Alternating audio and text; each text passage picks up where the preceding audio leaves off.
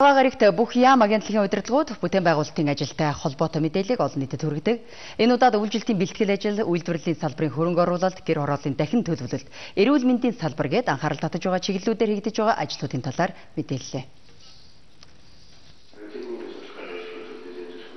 За бүтээн байгуулалтын цагийг нээж үйлчлэлтийн бэлтгэл ажил ямар байгааг барилга хот байгуулалтын яамнаас танилцууллаа.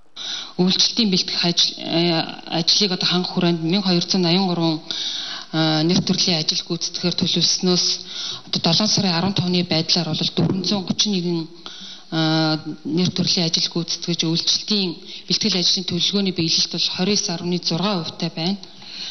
А мөн өвлийн бэлтгэл хангах ажилд нийтдээ 8.7 тэрбум төгрөг төлөвлөснөөс одоогийн байдлаар 5.6 тэрбум төгрөгийг бол зарцуулаад явж байна. За өмнөх жилүүтэй харьцуулахад 2013 он бол үйлдвэрлэлийн салбарын хувьд сэргэлтийн жил гэдгийг судлаачид хэлдэг. Учир нь юм хийж бүтээе, төрөөс дэмжээд өгөөч гэсэн хүсэлтийн тоо улам ихссэн байна. Ноолуурын бүтээгдэхүүний үйлдвэрлэл 68.8 сая Америк доллар, сүүсүн бүтээгдэхүүний үйлдвэрлэлд 27.7 сая Америк доллар, өвлийн хөлөмжийн аж ахуй байгууллагад 17.4 сая Америк доллар, ноосон бүтээгдэхүүний үйлдвэрлэлд 45 сая Америк доллар оюумл бүтээгдэхүүний үйлдвэрлэлд 13.5 сая Америк долларын хөрөнгийг үйлдвэрлэлтэн зарцуулж тухайн одоо чиглэлийн үйлдвэрлэлийн тоног төхөөрөмжийг одоо худалдаа авахд зориулж баталж өгсөн. За бүтээн байгуулалтын цагийг тэргүүн шадар сайд удирдсан тэрээр асуудалтай байгаа зарим ажлын талаар тодрууллаа.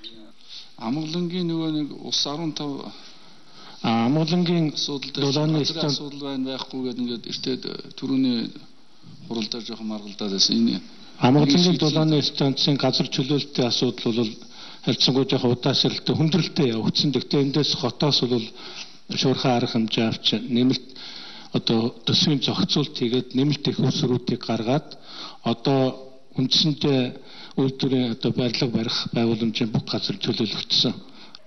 За хотын удирдлагуудын хувьд иргэдийн хамгийн их сонирхож байгаа ажлыг танилцуулсан юм а.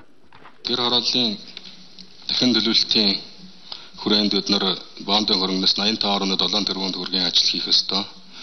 Өнөөдрийн байдлаар энэ дээр 10 нэгж аж ахуй нэгж байгууллага ингэр хорооллын дахин төлөвлөлтийн гүйцэтгэгчээ шалгарсан.